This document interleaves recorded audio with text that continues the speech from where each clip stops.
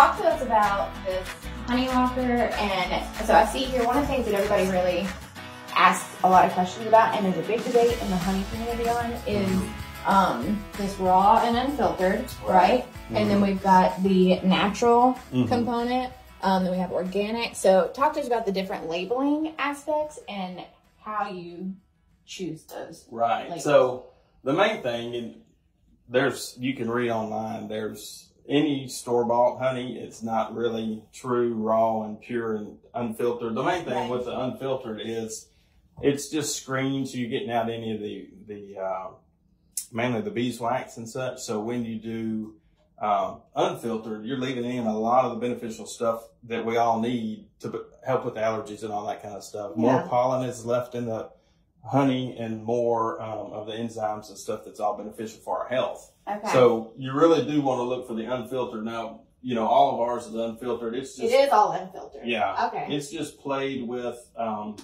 labeling because I had fun with making jars and Yeah. different labels and stuff. So, When they filter it, what does that process look like? well, there's different microns that can be, you can filter it to 200, 400, 600, really fine, fine, fine, and it takes out all the pollen and stuff. So, Oh. what the benefit of that is, like if you're going to put it at a store and you don't want it to be um, crystallized, because this you'll Yeah. see some of this stuff is all crystallized, so you've got to warm it up. Versus some of these I've warmed up recently, Uh-huh. and it's all you know liquid. right. Um, so this will crystallize quicker when it's unfiltered because of all the uh, pollen and stuff in there. But Uh-huh. honey never goes bad. You just warm it back up. right. Um, So and you- that's what people think that it's gone bad, but you just have to warm it up, back up. And really, the quicker it crystallizes, it means it's got more of the beneficial stuff in there for you. And you'll get good. that really from local. You Yeah. know, you really need to buy it from a local beekeeper. Okay. Is where it's usually not stuff at the store they process and actually mix in other liquids and stuff, Right. and it's not really true honey in it. Another something that everyone's talking about um, is local. Like, what does local really mean? You know, so I guess 50 miles is the most recent discussion I've had Okay. that that's your local honey. But um, what is the best local radius to?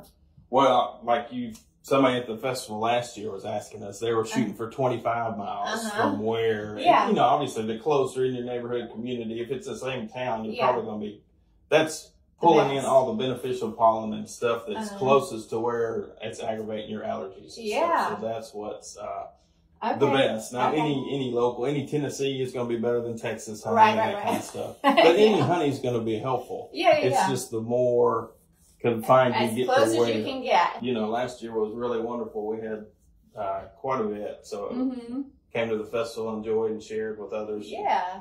got lucky, and you know, found a That's trophy. awesome. That's awesome. I love, yeah, you won first place, which is great based on taste and your clarity and the way that it looks based on smell. And you were chosen by the judges. Yeah, so Yeah. that was quite an honor.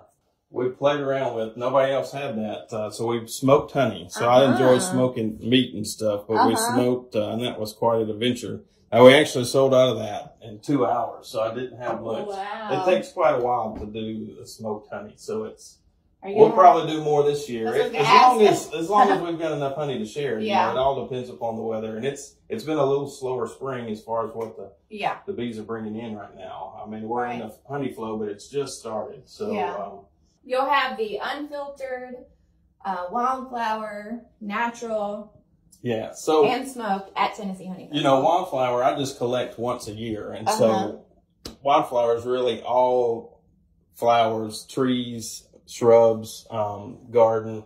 Right now it's swarm season, and so uh, you know if you're not enlarging the colonies enough with the boxes, then they're gonna start to swarm and move. Yeah. And uh, I try to stay on top of that, and I split a few hives. Then we've got wild swarms that Yeah. are happening. I've got around the farm some swarm traps hanging up, and we've caught uh, one Monday and uh, two yesterday.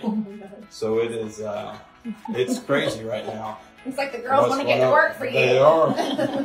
They are. So we hope we have a lot to, uh, you know, bring to the festival this year. Looking forward to it.